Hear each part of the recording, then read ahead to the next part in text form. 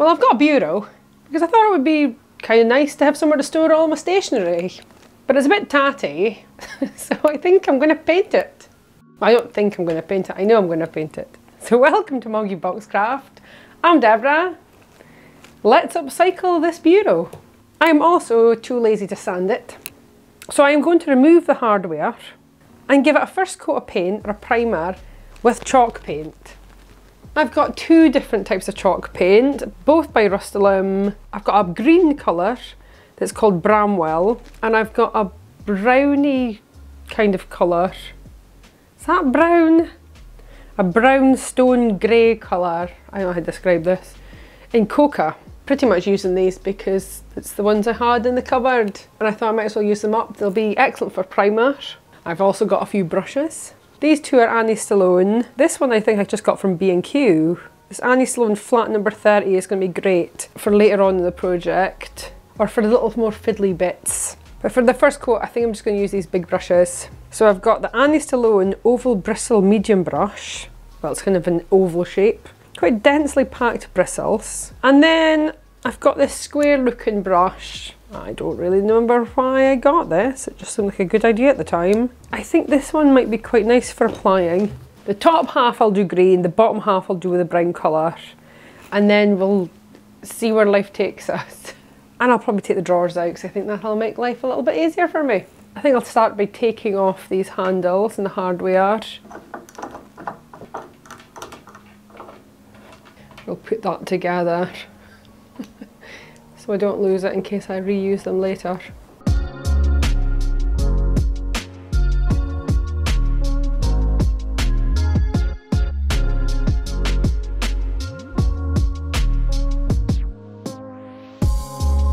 I know you're seeing a preview of what the desk kind of looks like now. It's still not finished. However, I thought I'd jump in here and just let you know I much preferred painting with a square brush over this oval brush. It's a really nice brush, but I just think you can really see the paintbrush strokes. Does that make sense? Whereas when I was using this one, this cheap ass one from B&Q, it just went on so much nicer.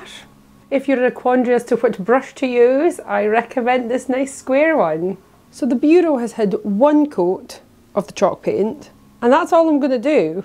I'm going to just move straight on to doing the gloss paint now. So I'm going to use a whole heap of different gloss paints, mix them together so I get a gradient type effect, a sort of ombre effect fading down. So I'm going to start with a sort of mint green I think, into a turquoise, into a blue, into a darker blue-ish. I've got pure brilliant white, it's Dulux Once Gloss. We've got a green called Buckingham, Dulux again. And then a blue called Oxford Blue. It's a dark blue. That's Dulux as well. We've got a grey called Seclusion. It's by Sandtex. And then a black, also by Sandtex. I've also got a mixing container. Well, I've got a Tupperware container to mix them in. And an old brush. So that seems like the plan, I think. I'm going to start by adding white and green to this bowl. And then work my way down the cabinet adding more paint to the container.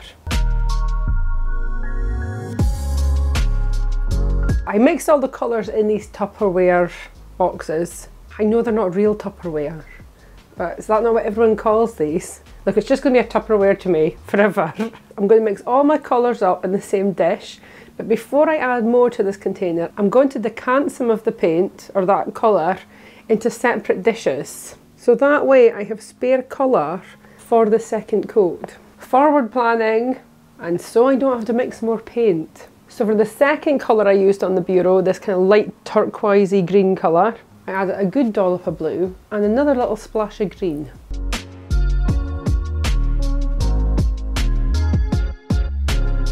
For the third colour, this mid blue, I just added a splash more blue to the mix.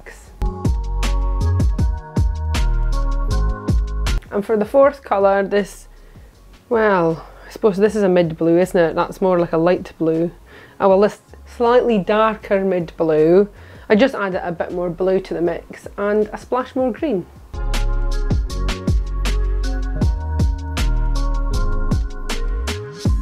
And for the last colour, this sort of smoky muted dark blue at the bottom of the bureau, I just made that by adding some grey, some blue and a splash of black.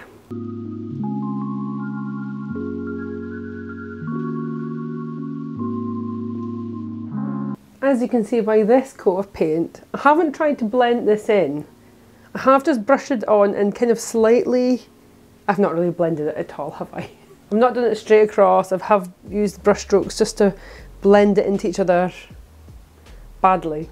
I don't know if that's a good description or not, but that's what I've done. Because this is gloss paint, I left it about 24 to 48 hours completely cure or dry. Because now it is time to paint inside the drawers. I decided to paint the inside, the drawers and the bureau inside a contrasting colour. Pink, because it's one of my favourite colours if you hadn't already guessed. And I think it just contrasts really nicely with the blues and the greens. And in case you didn't know, it's pretty tricky to find pink gloss paint that's actually hard wearing. I have looked, I have tried, it's usually terrible. So I just make my own now. also it saves money because I already have a red gloss paint and a white gloss paint. I can make the exact colour I want, just about. I would prefer if it was slightly more neon, but that's just me. The red I've got is Pillar Box Red and it's an exterior paint by Sandtex so it shall be rather hard wearing. I'm going to mix it with a white exterior paint that I used earlier. And I'll just keep adding a little bit of white, giving it a good mix, adding some more white until I get to the shade of pink that I want. I then painted the inside of all of the drawers, so when you open the drawers, you'll get a pop of colour. I love that. It's so fun. Who doesn't like a pink interior? Fun, isn't it? Although I only did one coat on the drawers because I discovered any more and they're going to stick quite badly. I also painted in here. Obviously when painting this I was very careful around all the bits of hardware, the hinges, all that. So it was neat and tidy because I'm lazy. I didn't bother doing a second coat at the back you're not going to see that when it's filled with said stationery. That seemed like a waste of time and a waste of paint. So I did a second coat on this surfaces here, on the outside of it there. This definitely a second coat. It was looking a little bit patchy. I probably should have done an undercoat. I should definitely have done an undercoat, but I was lazy I couldn't be bothered. I just wanted to get the paint on. It's too late now, I've done it. And I love that when you close it up, you don't see the pink, apart from these little runs here, but I'm going to fix that in a minute. I have sanded that back a tiny bit. We'll get onto that in a second. and like I said, I didn't do a second coat on the drawers because I just thought they were starting to stick when I opened them. The edges have dragged slightly and rubbed the paint, but that's fine. I could have done a second coat in here, but the drawers are going to be filled with stuff, so you're not going to really see it. So again, laziness prevailed.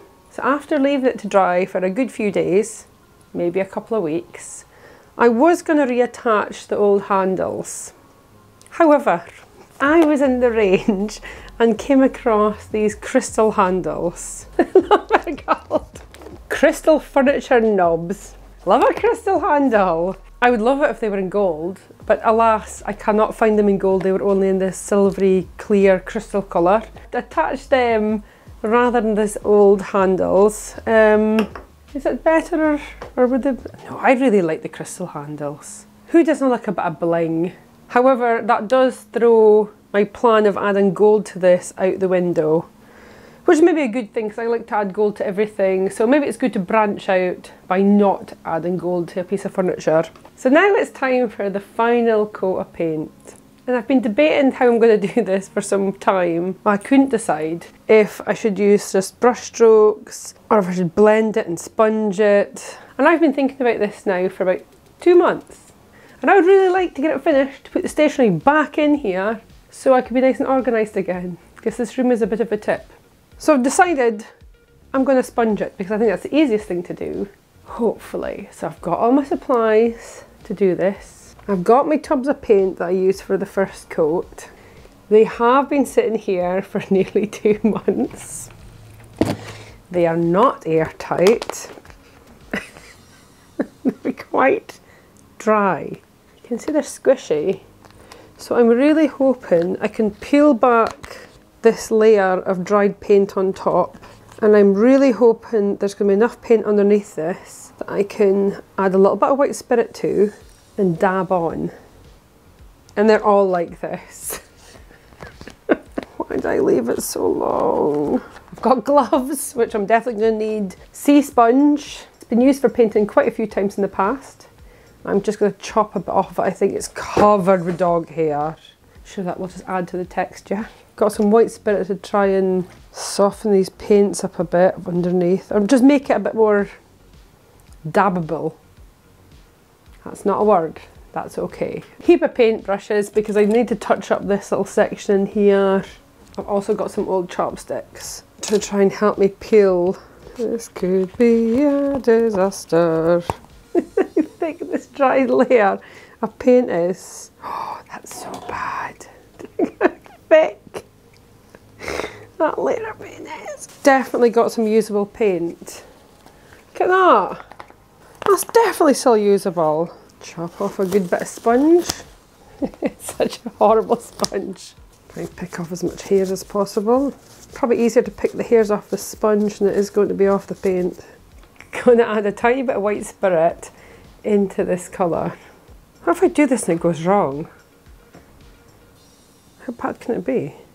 Sure, I'll just water it down a little bit, won't it? Yeah, perfect, super. We're just going to go for it. This going to be the plan? Apparently so. Just going to, just going to start at the top with lightest colour and uh, work my way down.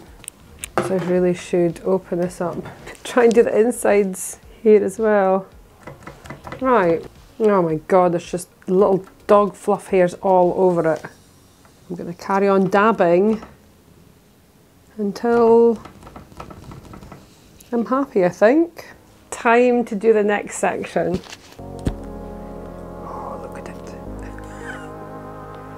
Oh wow. That's a thick layer of paint, is it not? Again, add a tiny bit of white spirit. Just a splash. Just helps to thin the paint out a little bit.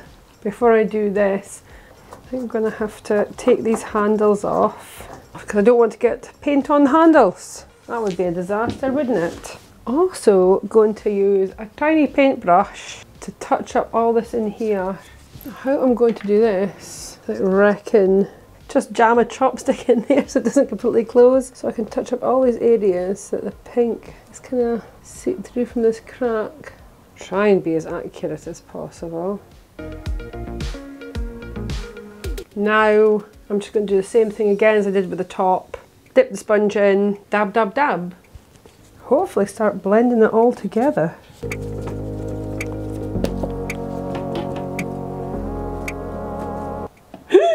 Don't drop it, drop it, drop it in the drawer!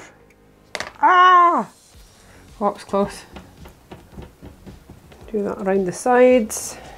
I'm going to dab all over each area so that way if the colours have changed slightly it's not going to be so noticeable.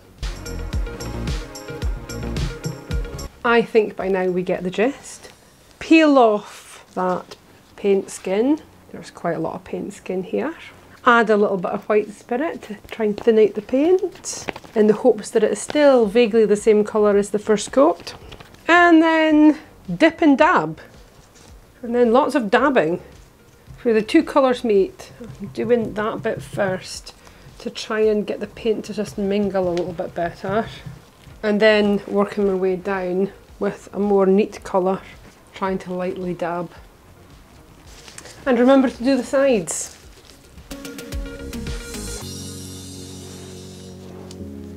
Right, so I've done down past the handles, I'm going to pop them back on so I can close the drawer and make sure everything looks right and lines up properly. I'm not going to close the drawer fully.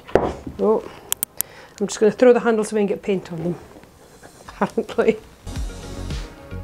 Have to close this drawer, aren't I? Come what may! Well, That's what it is.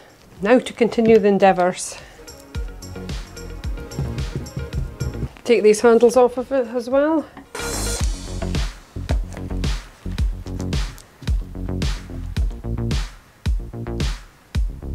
A ridiculous waste of paint. On to the next colour. Put those handles back on. These handles are never going to come off of it again. Last set of handles to deal with. On to the last colour, hurrah! Oh, don't fall back in there, no! God, what a state. I'm just throwing that everywhere. Uh oh! If I spill any paint, I do try to clean it up as quickly as possible. Because if not, it's quite difficult to get it off. Let's get this bureau finished. I did think about changing sponges. Do you know what I quite like? The little lighter flakes or flecks of paint running through it.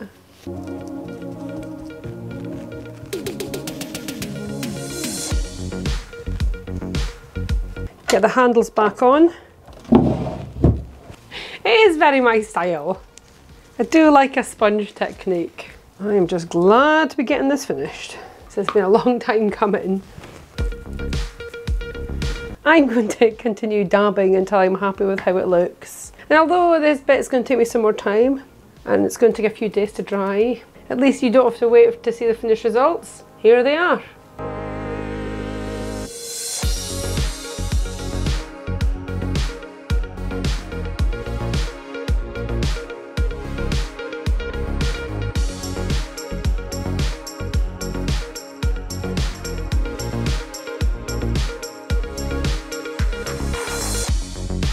If you've enjoyed this video, leave a like, leave a comment, share and subscribe. Of course subscribing is optional, but it is very much appreciated. So thank you so much for watching, I'll see you guys next time. Bye! Another painting endeavour and journey complete.